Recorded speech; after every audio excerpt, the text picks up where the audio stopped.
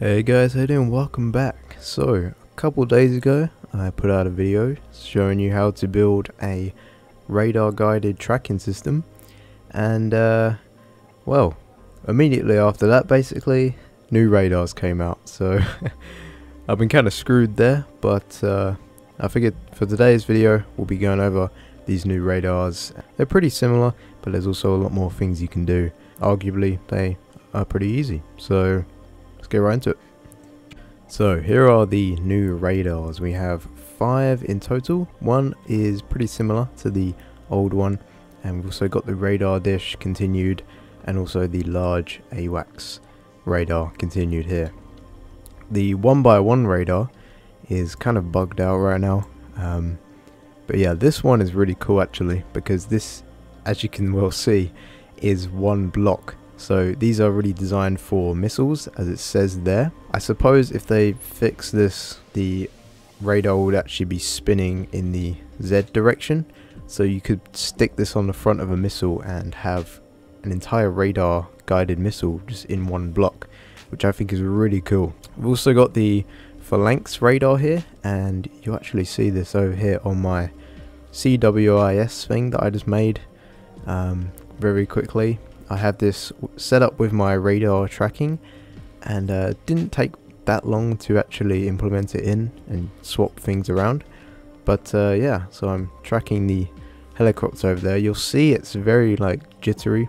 That's just because there's noise now in the radars. Uh, I think it's for balance maybe if we're on multiplayer and when we have weapons we don't want radars that are just going to snap on to your plane and it's not going to be very fun I don't think. So I think that's why there's noise and it's more true to life. But uh, yeah, still very cool. So as you can see, I have them all spinning and this is without any velocity pivots whatsoever.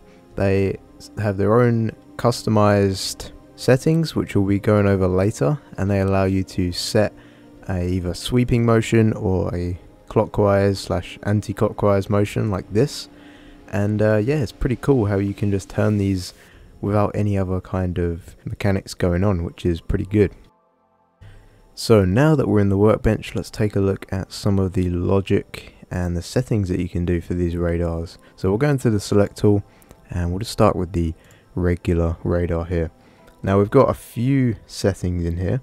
We've got the FOVs for both horizontal and vertical, something that wasn't in the old radars. We only had kind of vertical and elevation angle in the old ones. So now we don't have to use more than one of these, which is great. And if we actually change these, you'll see down below the effective range is actually going to change here.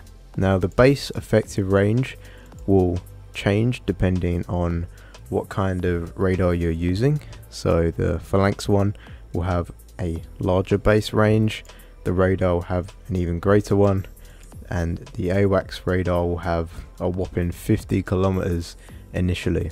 But if you're using the full range, you're not going to be able to have that much FOV because as you can see if we increase these the range goes down. So if we have full 90 FOV we're not going to have pretty much any range. But yeah people have been saying that this is a bit kind of severe. So you're barely going to be getting any range out of the basic radar and even less for the missile one.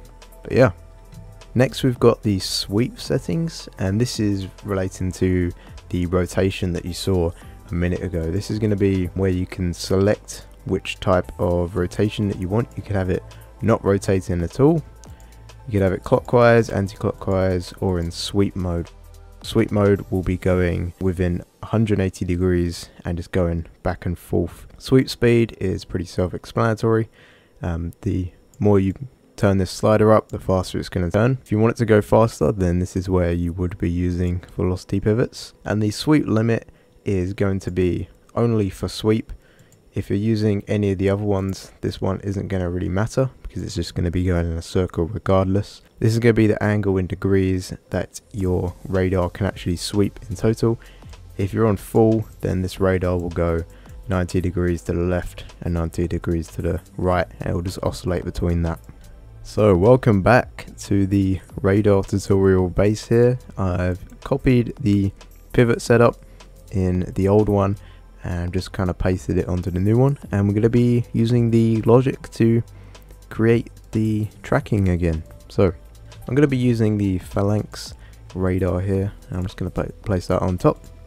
And let's go into the logic that we have on these radars.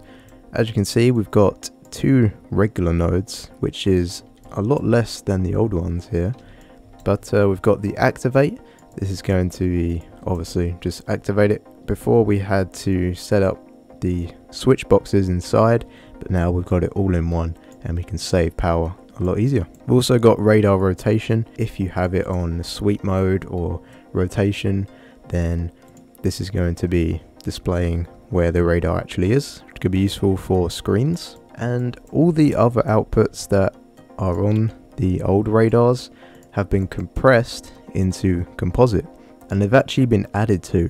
What we can have is now up to 8 targets being detected at once and each giving out their own elevation angle, azimuth, distance which is really cool because before we only had you know a single target and we had to kind of work with that but this is going to be really good for just detecting a lot of targets, a lot of enemies and even like missiles and things. So we'll go through this and we'll make a nice microcontroller to do all this. So like I said before, for the 8 targets there are going to be 8 sets of composite data that you can take out of the radar. The first is going to be on off and that's going to be similar to our target found. We're going to have 8 of those. Channels 1 to 8 on the on off channel will be um, the different targets. So channel 1 would be target 1 and if that's found then channel 1 would be on. If you found channel 5 then you would be detecting target 5 and that will give out a non-signal on that channel.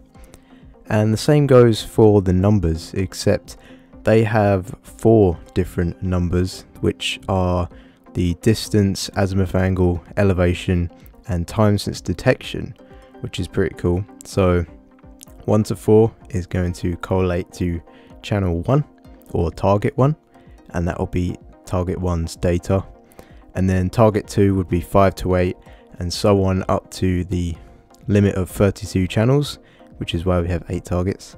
So here I have version 2 of the tracking radar and it is a lot smaller, it has half the nodes and the logic is much more compressed and simple. So we'll go into this now with the select tool. Everything from here is pretty much the same. All I've done is converted the normal PIDs to advanced ones. Nothing has really changed here. It just allows me to put property numbers and change the values because I had to recalibrate this and change them just by selecting the controller, which is a lot quicker.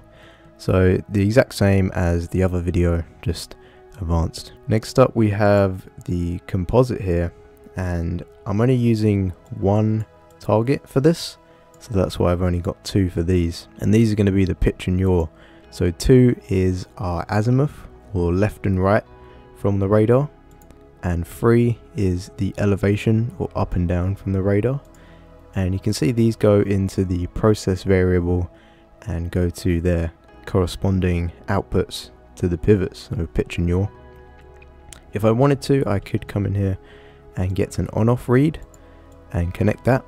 On channel 1 this will be detecting the first target and that will tell you whether it's found it.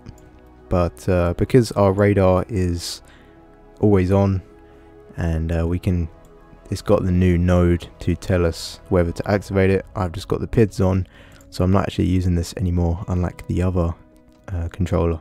If I wanted to detect more targets, then I would copy this down and I'll change this to maybe 6, 7, I don't know the exact values. Or I could maybe add some things here. I could add the other two and put these on channel 4 for time since detection and channel 1 here for distance. And I could display those maybe on a screen or whatever I like. But uh, yeah, let's go and wire this up. So composite straight there and pitch and yaw. And that is literally it and what I'll do is on the button over here I'll just put that to the activate and the laser here. So let's go and test this out here. We've got the normal one. I've just disconnected this so it's not tracking us. But we turn the button on it activates our radar and our laser. And uh, there we go. It's tracking us. We've got that little bit of wobble there. That's uh, that's normal. That's part of the radars, like I said earlier. But yeah, there we go. So it's tracking me pretty well, pretty much the same as the other one, really. Um, yeah, new radars, pretty cool stuff. And uh, well, yeah,